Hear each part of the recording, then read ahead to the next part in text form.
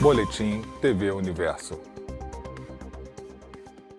Olá para você que acompanha a nossa programação. Está no ar o Boletim TV Universo. Uma forte chuva acompanhada de fortes rajadas de vento causou estragos na cidade de São Gonçalo.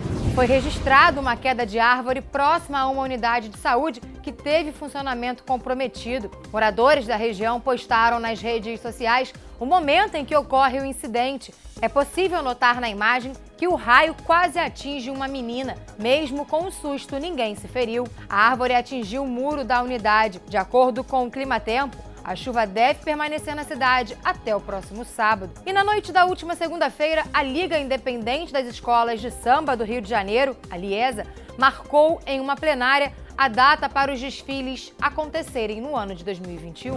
Segundo informou a Liesa, em conjunto com as 12 escolas do grupo especial, ficou definido que, caso haja uma vacina, haverá desfile no Sambódromo entre os dias 8 e 11 de julho. Ficou decidido também que o desfile ocorrerá nos moldes tradicionais.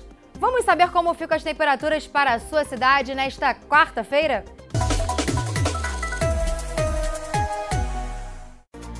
Em Niterói, os termômetros podem chegar à máxima de 24 graus e a mínima de 22. Para São Gonçalo, a máxima esperada é de 25 e a mínima de 21 graus. Itaboraí tem previsão máxima de 24 graus e a mínima de 20. Para o Rio de Janeiro, a máxima esperada é de 27 graus e a mínima de 20 graus.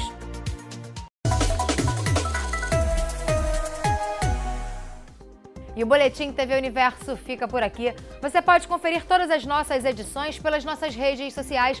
Pode também acessar o nosso Instagram e o nosso Twitter pelo arroba TV Universo 32. Até!